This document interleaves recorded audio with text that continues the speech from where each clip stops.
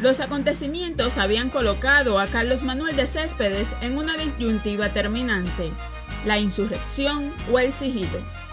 El 10 de octubre de 1868, Céspedes se colocó a la altura de las circunstancias, se enfrentó con el misterio y abrazó la rebeldía. Las campanas de la de Majagua repicaron para anunciar la alborada del nuevo día, que era el de la libertad. Ese día Céspedes enarboló su bandera por primera vez. A media mañana de aquel 10 de octubre, Céspedes pronunció un breve discurso, denunció la sistemática violación de los elementales derechos humanos y anunció el deber de todos los hijos de Cuba de levantarse en armas contra un poder tan despótico, injusto y opresor. Dio la libertad a sus esclavos y los invitó a luchar junto a él codo con codo. Ciudadanos, hasta este momento habéis sido esclavos míos. Desde ahora sois tan libres como yo.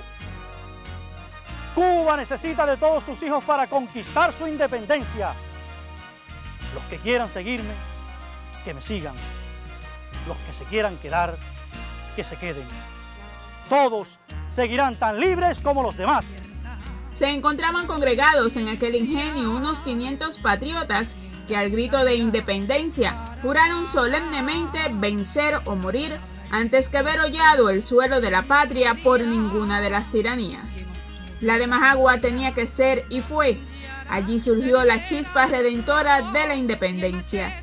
Allí comenzó la revolución que triunfaría el primero de enero de 1959.